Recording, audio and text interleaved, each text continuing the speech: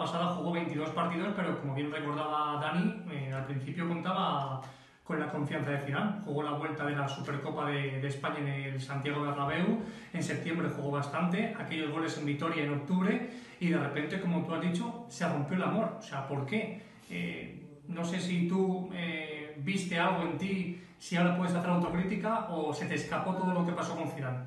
Bueno, eh, como bien he dicho antes, era una situación que no era entendible yo trabajaba, él me veía entrenar, yo le comenté que por qué no llegaba a jugar, me dijo que, que fuera consciente de los jugadores que tenía por delante, era cierto, pero había un momento la temporada que Kroos estaba lesionado, que Modric estaba lesionado, cambiaba el sistema para poner a otros jugadores.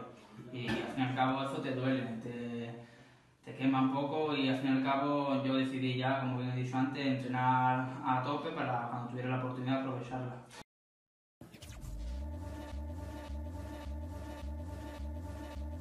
aprovecharla. Back from the dead.